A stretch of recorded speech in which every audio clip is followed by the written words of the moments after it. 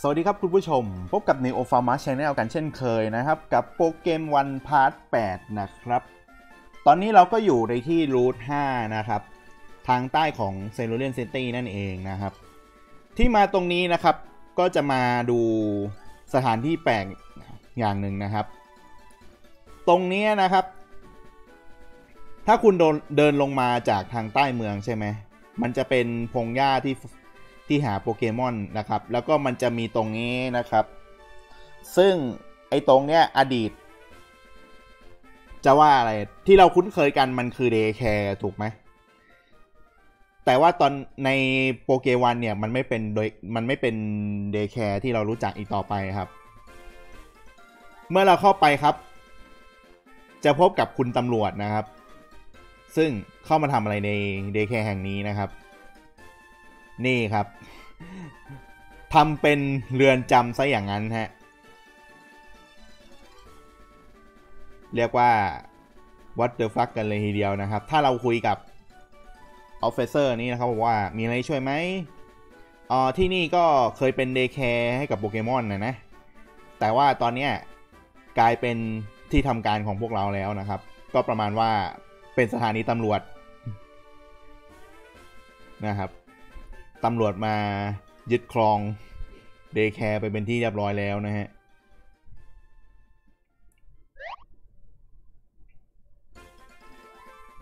คือถ้าเป็นในโปเกมอนเรว v ลูชันออนไลน์มันยังมี day care นะ แต่ว่ามันจะใช้ได้เฉพาะสมาชิกเท่านั้นนะครับ แล้วก็ตอนนี้นะครับเรามีสัตว์ขี่แล้วนะครับ ได้จากการเปิด loot box นั่นเองนั่นก็คือกวางเรนเดียนะฮะ ซึ่งก็ได้มาสักพักนึงแล้วแหละ แล้วก็ช่วยให้สะดวกในการเดินทางมากยิ่งขึ้นครับนี่ครับ กวางกวางเรนเดียที่ผมพูดถึงนะฮะมันคือโปเกมอนที่ชื่อว่า Stantler นะฮะ กวาง normal ที่ดันมี ability intimidate นะครับ และก็กลายเป็นกวางที่ถูกลืมครับ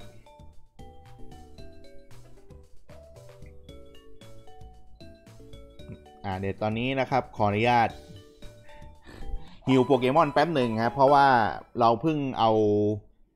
เจ้าหมาตัวนี้ไปลุยมานะครับ เจ้าบูรูของเรานะฮะตอนนี้นะครับเลเวลของโปเกมอนเราก็ประมาณนี้นะครับ คือ ที่ยังไม่ลุยยิมสักทีนะ เพราะว่าผมกำลังหาตัว Bulu ที่มัน ability เหมาะๆนะครับ stat เหมาะๆหน่อยนะฮะ ซึ่ง ดีที่สุดมันก็หาได้เท่านี้นะครับ ถ้ายังจำ part ที่แล้วได้ใช่ไหมว่าเราได้ Bulu ที่มัน IV เอนิสัยตรงฮะ เป็นนิสัยอะดามเมนใช่ไหมที่เพิ่ม Attack แต่ลด Special Attack แต่ว่า Ability ไม่ใช่ Intimidate นะครับ แถม IV ก็ Attack เสือกน้อยอีกนะครับ ก็เลยต้องเป็นจำเป็นต้องหาตัวใหม่นะครับ อะแล้วเราก็ได้มาแล้วทีนี้พาร์ทนี้นะครับ เราก็จะมาปิดจ็อบกันสักทีนะฮะหลังจากที่ดองกันมานานเหลือเกินนะครับ ก็ได้เวลาลุยยิมน้ำกันแล้วนะครับ เราจะได้เจอกับคาซึมิในเร็วๆนี้นะครับ เอาใจช่วยกันด้วยนะฮะมาถึงก็มีเนิร์ดเจนคินนะฮะคอยต้อนรับนะครับ อ่าคุณสามารถเอาชนะโปเกมอนธาตุน้ำของคาซึมิได้ด้วยโปเกมอนธาตุพืชนะครับอ๋อหรือจะช็อตไฟฟ้าก็ได้นะ อ่า นั่นเป็นช้อยของนายนะครับ ก็ตามที่เขาบอกนะก็คือใช้ธาตุพืชกับธาตุไฟฟ้านะครับ ในการเอาชนะธาตุน้ำนั่นเองนะครับ ซึ่งเราก็มีเพียบเลยฮะธาตุพืชมีตั้ง 3 ตัวนะครับ แล้วก็มีธาตุ โปเกมอนที่ใช้ธาตุไฟฟ้าได้อยู่ 2 ตัวนะครับ นั่นก็คือปิกาจูกับบูรูนั่นเองนะครับ ซึ่งมีธาตุทันเดอร์แฟงนะครับ ส่วนโกลัตตานะครับ ซึ่งพัฒนาเป็นลัตตาเรียบร้อยแล้วนะครับ ก็แน่นอนว่าในอนาคตนี่โดนปล่อยแน่นอนนะครับ แต่ว่าเราจะกะเอามาใช้ในยิมนี้ก่อนนะครับ พอพิชิตนี้ เอ้พิชิตยิมนี้เรียบร้อยแล้วเนี่ย เราก็จะมาทำการปล่อยปลากันนะครับ เนี่ยเรียกว่าลิฟกันล่วงหน้าเลยทีเดียวนะฮะ ต่อมาครับเราจะมาลุยกันเลยดีกว่าครับ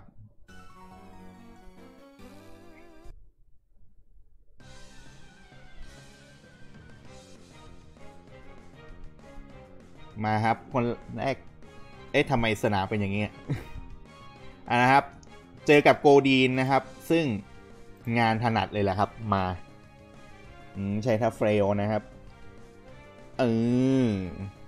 ไม่ตายซะด้วยนะครับ ใบแล้วกันนะ เก็บท่าไว้หน่อยฮะอืม จะคอนฟิวค่ากันหรือ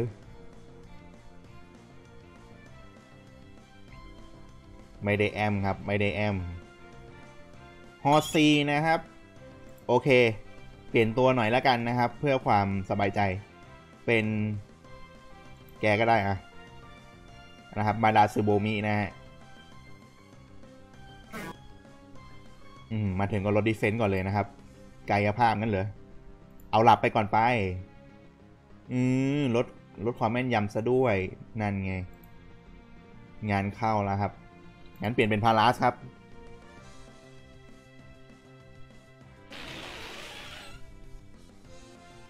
มาแล้วครับ Bubble ครับ ตีไม่เข้าครับ เพราะเป็นธาตุพืชแมลงนะครับ แล้วก็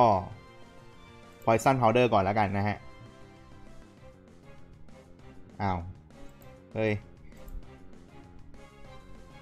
ยังจะ Smokescreen อีกเหรออือติดพิษไปซะนะครับ เอาละทีนี้เราก็เผด็จศึกเลยครับ Fury Cutter ครับ อ้าว ตีไม่โดน อ่า ไม่เป็นไรครับ Absorb แล้วกันฮะ อย่างน้อยก็ขอเลือดมาหน่อยนะกันเอออร่อยเหาะครับ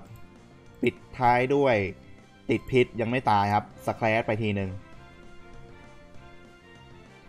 ลดทำไม defense ลดทำไมเออโอเคครับ ก็ชนะไปหนึ่งยกครับ เรียกว่า EXP แจกกันล้นหลามอีกเช่นเคยนะครับ อืม ตรงนี้ นะครับ เหมือนกับเป็นเขาเรียกว่าอะไรนะลานจุดสตาร์ทในการโดดน้ำนะครับ เหมือนจะลงไปได้นะเนี่ย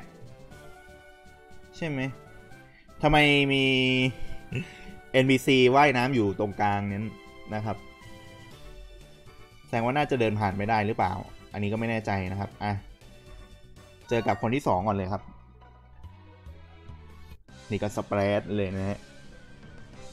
สวิมเมอร์ซิเวียนะครับ เปิดมาอ้าวโกดีนี่แล้วครับ แต่เลเวล 17 นะครับ เหมือนโกดีนี้จะเป็นสายเวทปะ ไม่ใช่สายกายภาพเออแล้วก็อ่าติด paralyze ไปนะครับ แล้วก็มีโอกาสที่มันจะมี ability สายล่อฟ้าด้วยนะครับ ซึ่งอย่างตอนนี้ยังไม่เจอฮะถ้าเจอก็อาจจะงานงานช้างนิดหน่อยนะครับ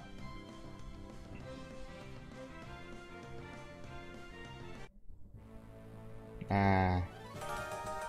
แล้วก็แดกเลเวลกันมันครับ แล้วก็ level trainer ก็ level up ด้วยนะครับ ได้ loot box มาเปิดเล่นครับ อืม ได้โปรตีนมาด้วยครับ แล้วก็โปเกโกโอเค มาลุยกันต่อครับ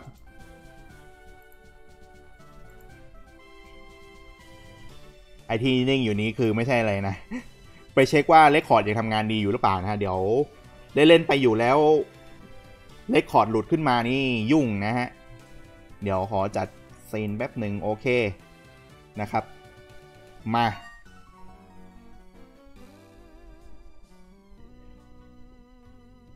อ่า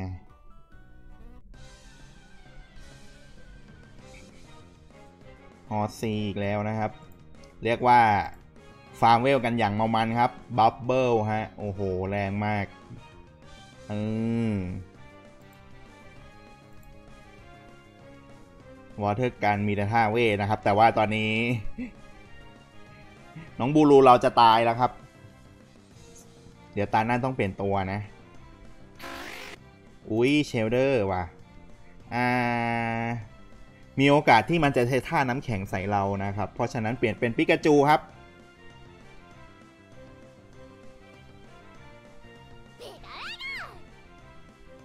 Supersonic อ้าว ไม่โดน สวยสิครับ Electro Ball ไปเออถึกแค่ไหนก็ตายครับ เพราะว่า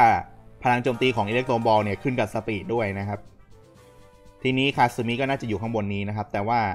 ผมสงสัยว่าสองคนเนี้ยไอสองคนที่อยู่กลางสระน้ำเนี่ย เราลงไปได้ไหมอะไม่รู้ครับ แต่ว่าตอนนี้เรากลับ โปเกมอนเซ็นเตอร์ก่อนนะฮะ ซึ่งก็อยู่ไม่ใกล้ไม่ไกลนี่นะครับ เดินไปแป๊บเดียวก็ถึงนะครับ แต่ว่ามันจะช้าหน่อยก็ตรงที่แหลกนี่แหละ คือคนเล่นเยอะมากฮะ โดยเฉพาะเมืองเนี่ย เป็นเมืองที่ผมว่าคนเยอะที่สุดแล้วล่ะมั้งนะ มีแต่คนมา มายืนรอเทรดกันนะครับ ก็ทำใจนิดนึงนะฮะสำหรับใครที่เข้ามาเล่นนะครับ เนี่ยคนโยเยะมากเลยฮะสำหรับแบบนี้ อะไรเนี่ย ขาย Hidden Move Hidden Move หาคุริวนะครับ 15k หรือ หรือ One Master Ball อ๋อหมายถึงว่าแลกกับ Master Ball หนึ่งลูกแลกได้คุ้มมาก เอา เอาฮาคูริว Hidden Move นะครับที่เป็นสีเขียวนะครับ สีเขียวเนี่ยก็คือสีมันจะแตกต่างจากสีปกตินิดนึงนะครับ เอาไว้เป็นคอลเลกชันสะสม โอเค มาครับ ทีนี้เราก็น่าจะเจอกับคาซึมิแล้วนะฮะ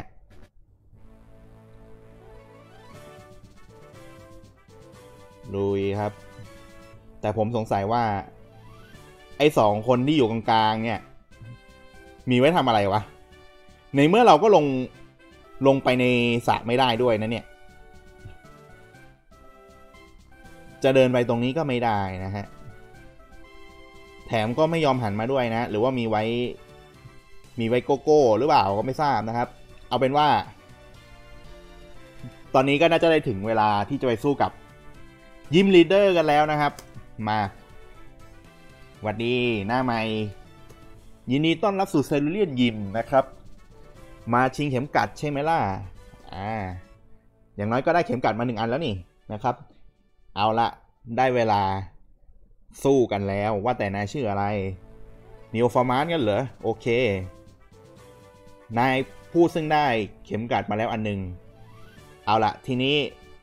หวังว่าคงคงจะฝึกโปเกมอนมันเป็นอย่างดีนะ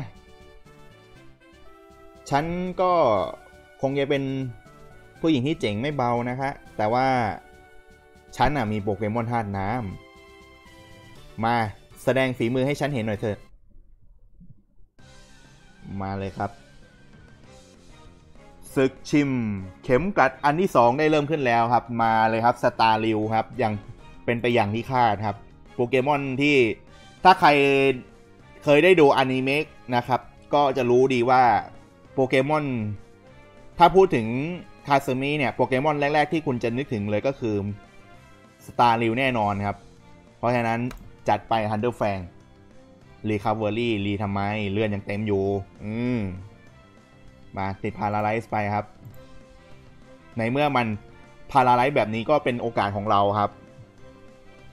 เขาก็จะใช้ท่าท่าก่อนเราไม่ได้นะครับ แล้วก็ปิดท้ายด้วยร่างสองครับสตาร์มี่ครับ อ่า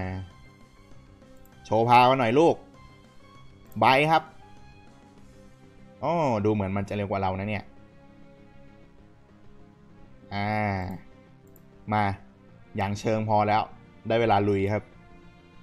ทำไมท่ามันกระจอกง่อยจังเลยอะฮะเป็น gym leader ทำไม เอออู้ Water Pulse ติดครินัดเดียวจอดแม่เจ้า โอเคโอเค สมเป็นคาซึมิ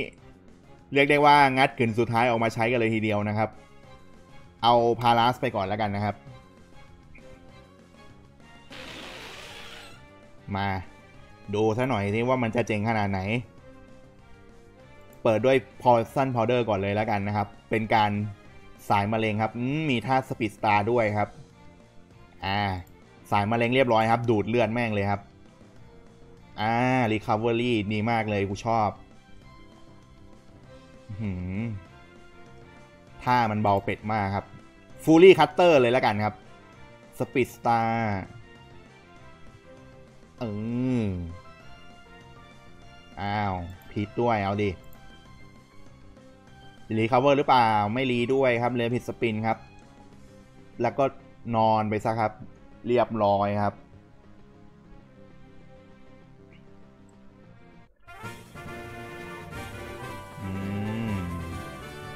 มาแล้วครับ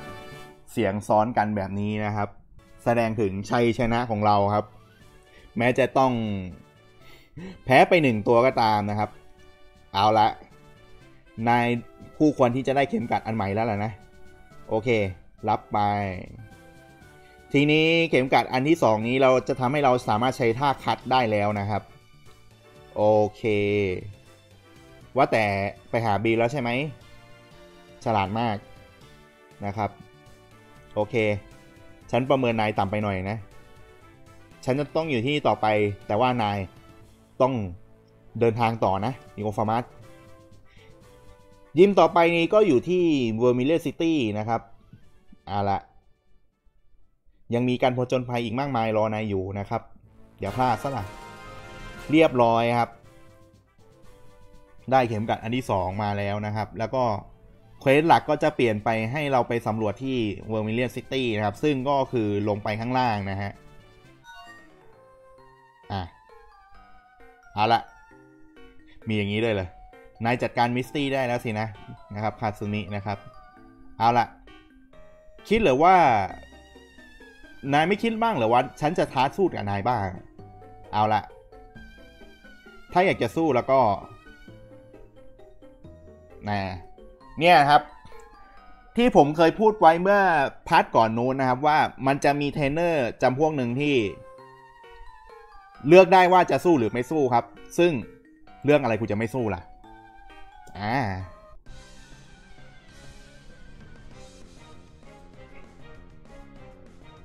โอ้โห โกลดีน level 16 ครับ มา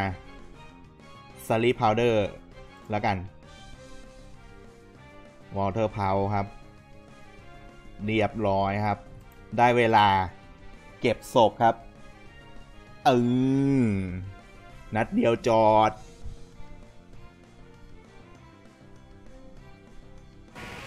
โอ้โห มีหอยด้วยนะครับ ได้ได้ได้ งั้นเปลี่ยนเป็นใช้ท่าแรปก่อนเลยครับซูเปอร์โซนิกไม่โดนครับ อ่า เราจะค่อยๆต่อเลื่อนมันไปทีละนิดครับ จากนั้นก็มาเล็งได้เต็มที่ครับ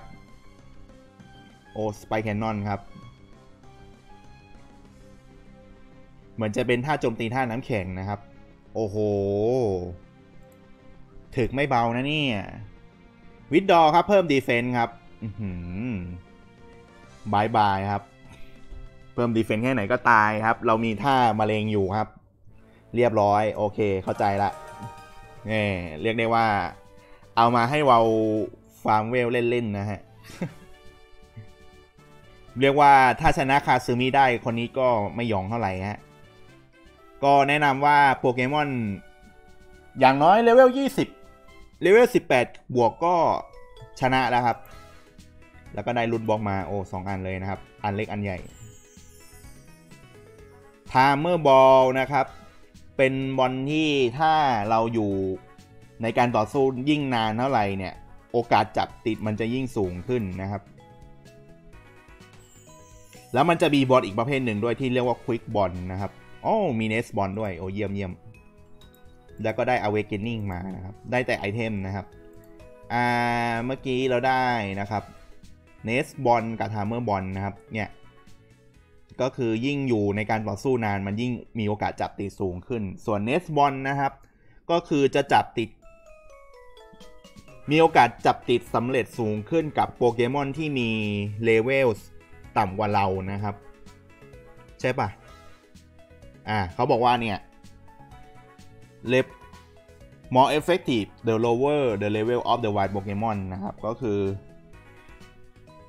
ยิ่งเลเวลต่ำกว่าเราโอกาสจับติดสำเร็จจะสูงมากนะครับ หมายถึงเลเวลต่ำกว่าโปเกมอนที่เราใช้ต่อสู้นะ ไม่ใช่ว่า ต่ำกว่าตัวไหนตัวหนึ่งหรืออะไรอย่างงี้นะ โอเคนะครับ ก็ได้เวลาฟื้นฟูเยียวยากันนะครับ ทีเนี้ยเมื่อกี้คาซึมิเขาบอกว่าให้ไปหา ให้ไปหาอะไรนะบิลใช่ไหมซึ่งบิลเนี่ย จาก part ที่แล้วเราก็จะทราบแล้วว่ามันอยู่ที่ข้างบนใช่ไหม Route ยี่สิบห้าซึ่งเราไปมาแล้วครับ ซึ่งการไปเนี่ยเราก็จะได้ตัว SS Ticket มาใช่ไหมเพื่อที่จะไปขึ้นเรือสำราญนะครับ แน่นอนว่า มันต้องไปครับ เพราะว่ามันเป็นแหล่งฟาร์มเวลชั้นดีครับ ทีนี้เดี๋ยว เราจะเดินไปเรื่อยๆก่อนนะครับ จริงๆมันก็จะไปได้สองทางนะ ถ้าดูตามแมปก็คืออะรอโหลดนิดนึงนะครับ เนี่ยอ่า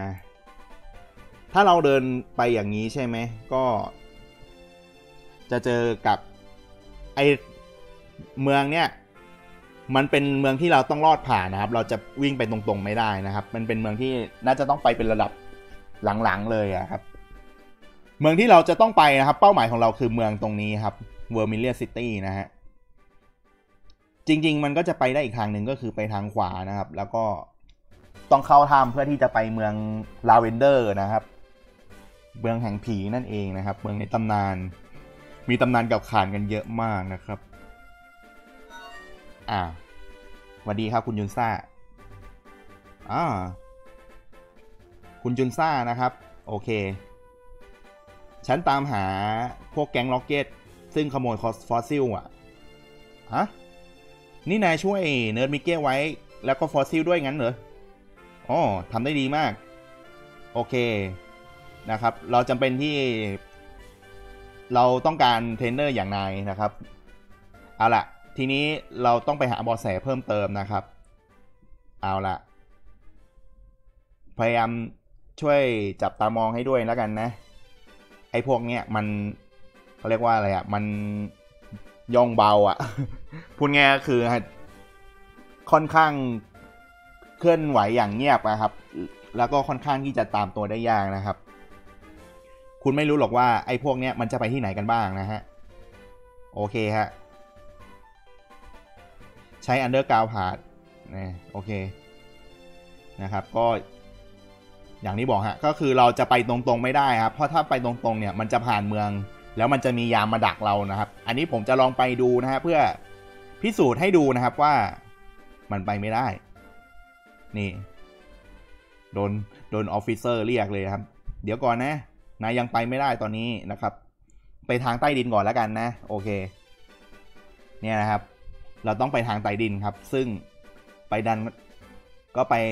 ตรงด้านข้างๆฮะตรงนี้ครับ อะ Officer Dick ด้วยนะครับแม่ตั้งชื่อได้แบบ เอาละวันดีนะครับ โอเค ขอให้สนุกในการเดินทางนะครับ ขอบคุณครับ ทีนี้นะครับเมื่อเรามีกวางตัวนี้แล้วนะครับ เราก็ไม่จำเป็นต้องมีจักรยานอีกต่อไปนะครับอ่ามีดิโดรันเพศผู้ไหมมา trade มา trade กับ นิโดรันเพศเมียเปล่าไม่ยังไม่ได้มีสักตัวนะครับ ใจเย็นๆครับอ๋อมีกลวยวางด้วยเฮ้ยมีคนขี่ไอ้นี้ด้วยอะไรนะทันเดอร์นะฮะอืมโอเคเหมือน เหมือนมุมกล้องมันจะเปลี่ยนไปด้วยบางระหว่างทางนะครับ คนจะวิ่งจาก B A ไป B แล้ว B กลับมา A แล้วก็ค่อยไป C ดูเหมือนว่าทุกคนนั้นจะมีแต่เรื่องยุ่งเหยิงไปหมดนะครับ โอเค อย่างน้อยเราก็มี Underground Part โอเคฉันนั่งอยู่นี่แล้วก็ผ่อนคลายพร้อมกับ Ice Cold Lemonade เออ ฟังแกเพ้อไปฮะ อันนี้คืออ๋อป้ายนะครับ ไม่มีอะไร โอเค Discover 15 Area ปลดล็อก Achievement กันเลยทีเดียวนะครับ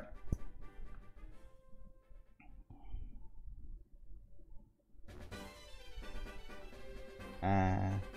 ตรงนี้มีเบอร์รี่ให้เก็บนะครับ ก็เก็บซะนะครับซิตูดเบอร์รี่นะฮะโอเค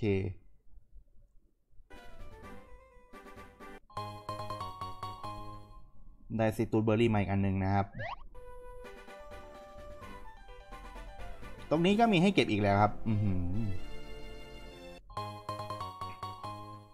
โอลานเบอร์รี่นะครับ โอเค โอลานโอลานเบอร์รี่สองอันนะครับ โอเคไม่เร็วไม่เร็ว ว่าแต่เราไม่มีเควสอันนี้ใช่ไหมเออช่างมันเถอะนะครับ อ่าทีนี้อันนี้นะครับมันก็จะเป็นรูทหกนะครับ ซึ่งมีโปเกมอนอะไรบ้างนะครับ ก็ตามที่แสดงนี้นะครับ แล้วก็ยังมีโปเกมอนที่เรายังไม่ค้นพบนะครับ อีกเยอะเลยทีเดียวนะฮะซึ่งเดี๋ยวค่อยไปหากันนอกรอบนะครับ ตอนนี้ โหอยากได้ยาดอนนะครับ ยาดอนนี้มีทั้งบนบกและก็ในน้ำนะครับ เออดีเหมือนกัน เพราะว่าตอนนี้เรายังตกปลาไม่ได้นะครับก็ แล้วก็ระหว่างทางนี้ครับ มันจะมีเทรนเนอร์อยู่นะครับ ซึ่ง จะเดินอ้อมหนีไปก็ได้ครับ แต่ก็เสี่ยงที่จะเจอโปเกมอนป่า แต่ไม่ครับ เรามาฟาร์มเวลครับ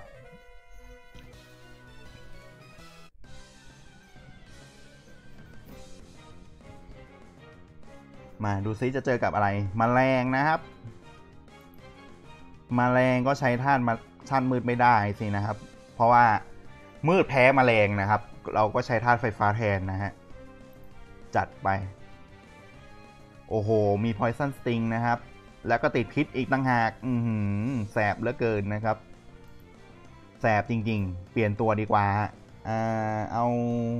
พาราสแล้วกัน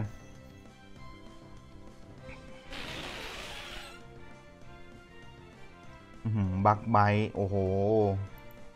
เอางี้เลยเลยได้ Scratch แม่งเลยครับ มันเร็วกว่าเราด้วยนะเนี่ย อืมลด speed อีกนะฮะครับ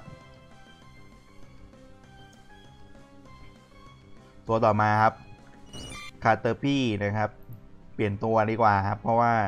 โดนลด speed สองลำดับอย่างนี้ เราเสียเปรียบนะครับ เปลี่ยนเป็นปิกาจูแล้วกัน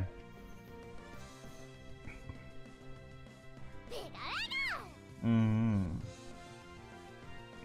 Tackle นะครับ โอเค อ่า Electro Ball เลยแล้วกัน นัดเดียวจอดครับ ตัวที่3ครับตัวอะไรครับบีเดิลอีกแล้วนะครับ ได้ครับ อิเล็กโทบอลอีกรอบครับ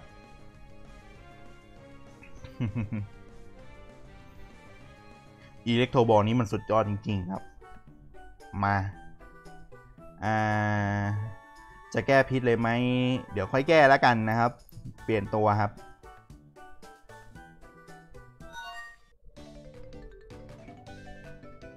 มา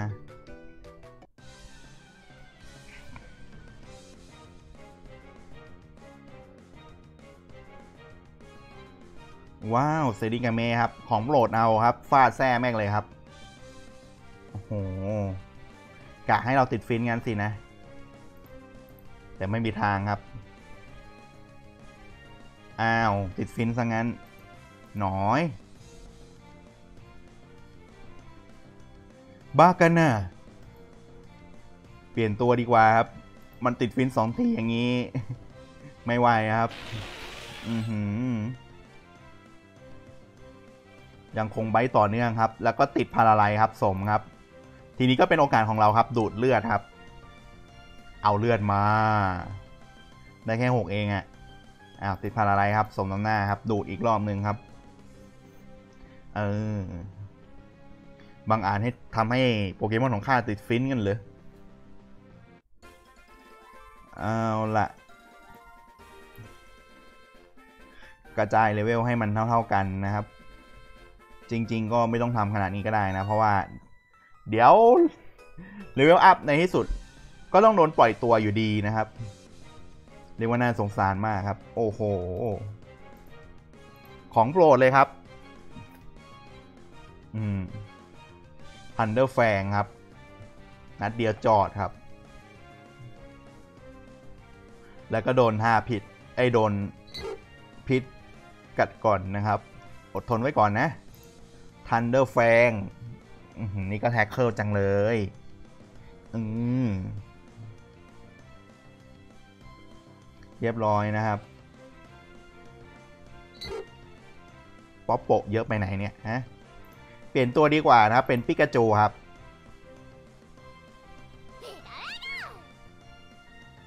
อ่า ใช้ Sand Attack ครับ มาวัดใจกันหน่อย เออ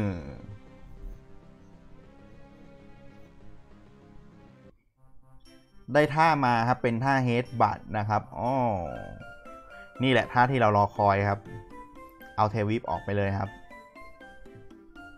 เฮดบัตนะครับเป็นท่าที่ใช้ในการหม่งต้นไม้ได้นะครับอาละทางข้างหน้าน่าจะเป็น Duo Battle แน่แน่นอนนะครับ เพราะฉะนั้นเปลี่ยนล่วงหน้าเลยครับ เราจะ lead เอา อ่าอะไรนะโอดิชนะครับกับลัตต้านะครับ ไปลุยแทนนะครับ มา let's do it together ไอ Pokemon Revolution Online เนี่ย ยังไม่มีระบบ Double Battle นะครับ ก็น่าเศร้านิดนึงนะครับ ซึ่งโปเกมอนมีครับ มันจะทำให้การสู้ต่อสู้นั้นสนุกโคตรๆครับ เฮ้ย เขามี 5 ตัวเลยเหรอเนี่ย เป็นโกลาต้ากับปิกาจูนะครับ เพราะฉะนั้น ตอนนี้เป็นตาของโอดิตนะครับ ก็ใช้ท่าแอร์ซิดไปที่อ่าอ้าวมันใช้ไปที่ใครวะ หรือว่ามัน หรือว่ามันตีหมู่วะ ไม่รู้เหมือนกันอ่าส่วนของลัตต้านะครับ ก็ใช้ท่า Hyper Fang ครับไปที่ปิกาจูครับ ออเก็บมันก่อนเลยครับ ตัวปัญหาครับลัตตาใช้ Pursuit ครับ ไม่ค่อยแรงเท่าไหร่ครับ นี่ Acid ไปครับอ่าใช้บัตเตอร์ฟรีครับ ก็ Acid เหมือนเดิมครับ แล้วก็โคลัตตาใช้ Hyper Fang เหมือนเดิมครับอืมอ่าบัตเตอร์ฟรีใช้ Psybeam โอ้โหแรงไม่เบานะเนี่ย Focus Energy ครับ แล้วก็ Acid ไปครับ อืม ตีหมู่จริงด้วยนะครับสำหรับท่า Acidอ่านะครับ มีลัตต้าอีกตัวหนึ่งนะครับ อ่า แอซิดอีกรอบหนึ่งนะครับ แล้วก็ใช้ท่าใบแล้วกันนะครับ ไปที่ลัตต้านะครับ เพราะว่าแอชโชแลนเนี่ย มันจะต้องมีมันจะต้องโดนตีมาก่อนนะครับ แล้ว ตีถึงจะแรงซึ่งยังไงก็ไม่เป็นไปไม่เขาเรียกว่าอะไรเป็นไปไม่ได้ครับ เพราะว่าลัตต้าเรา speed เร็วกว่าโอดิชนะครับ ก็จัดไปครับ Bite ไปก่อนครับเป็นการตอดเลือดครับอู้ Silver Wind อะ Acid ไปเลยครับเออตายคู่ครับ เยี่ยมมากครับโอ้โหปิด job ได้สวยครับ เหลือหนึ่งตัวครับหนึ่งตัวที่ว่านั้นคือ ปิ๊ปปี้ โอ้โห อย่างนี้ของโปรดเลยครับ แอซิดไปครับ ส่วนตอนนี้ก็ใช้ไฮเปอร์แฟงครับ เออ ตัดเลือดรัวๆครับ ตกหลุมรักไม่เป็นไรครับ เรามีแอซิดครับ โอ้โห เรียกว่า สุดยอด สุดยอด เอ เราพัฒนาร่างแล้วนะครับ เป็นกรูมนะครับ จัดไปครับ ไม่ไหวฟุกเลยทีเดียว คือเขาเป็นแฟนกันนะฮะ ก็เรียกว่าทำร้ายคนโสดอะไรทีเดียวครับ ก็เรามีหน้าที่ในการ ตีมันทิ้งครับ คือแบบหมันไส้ฮะอะเจอโปเกมอนปลานะครับ เหมือนแถวนี้จะยังไม่มีอะไรมากนะครับเนสนะครับเลเวล14ฟูลี่คัตเตอร์ครับ โอ้โห แม่งเฟกเอาเลย นะได้เฟกเอาใช่ไหมอะติดผิดไปครับสมครับอือดูดเลือดแล้วกันนะครับ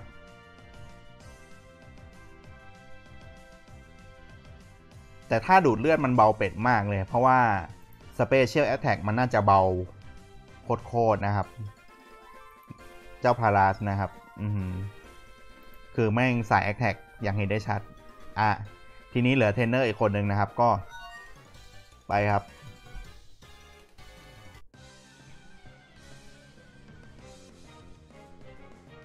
oh my god โอนิซึซึเมะนะครับ เอาปิกาจูลงเลยดีกว่าครับ อ้าว เปลี่ยนตัวไม่ได้ what the fuck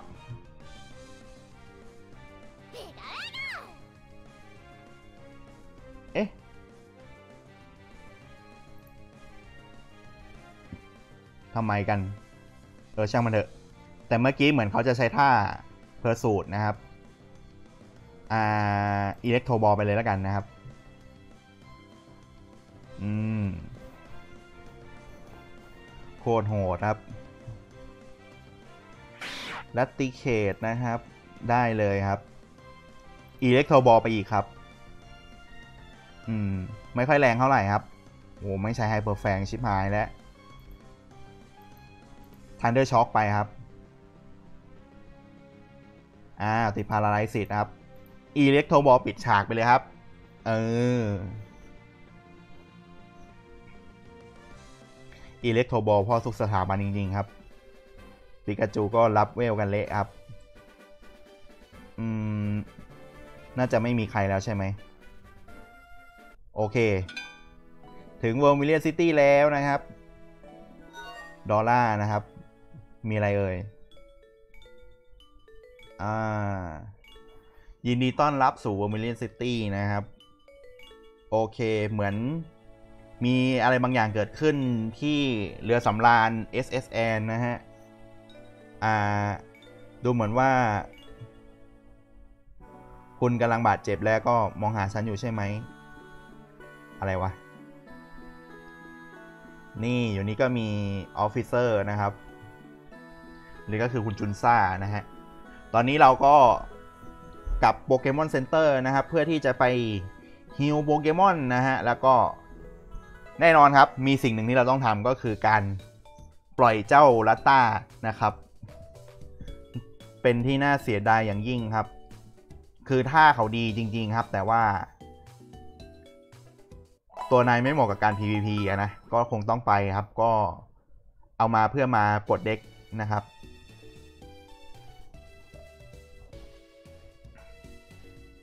เอามาเปิดเด็กแล้วก็จากไปนะครับเอาละขอให้นายใช้ชีวิตอย่างมีความสุขนะ ลาก่อย อีกตัวหนึ่งที่เราต้องปล่อยด้วยนะครับก็คือ นี่ครับตัวที่พัฒนามาจากโอนิซึซึเมะนะครับ มันชื่อว่าอะไรว่าลืมแต่ว่าก็นายก็ต้องไปอีกตัวดึงเช่นกันนะครับ ขอให้ ใช้ชีวิตอย่างมีความสุขนะ ลาก่อย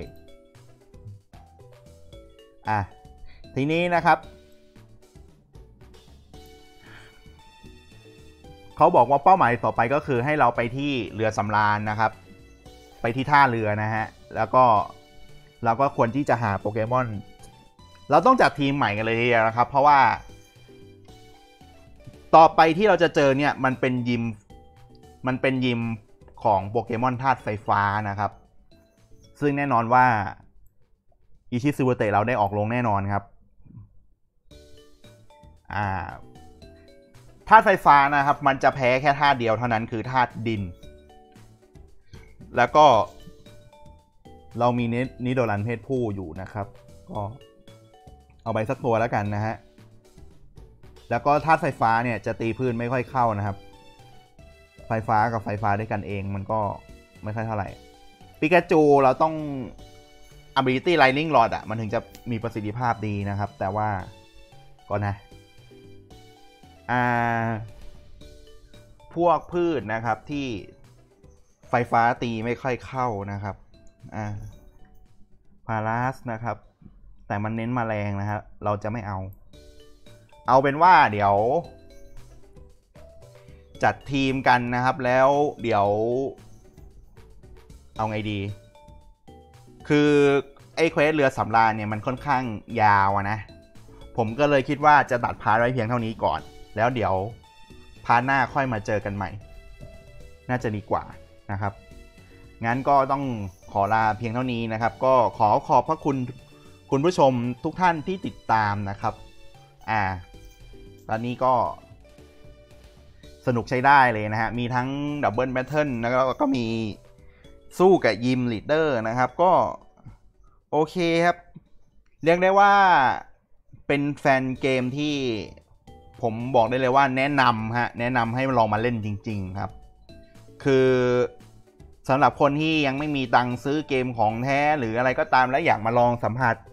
บรรยากาศโปเกมอนแบบนี้นะครับ ก็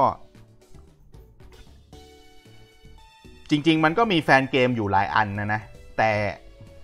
โปเกวันเนี่ย น่าจะเป็น fan game ที่ค่อนข้างสมบูรณ์ที่สุดแล้วนะครับถ้าที่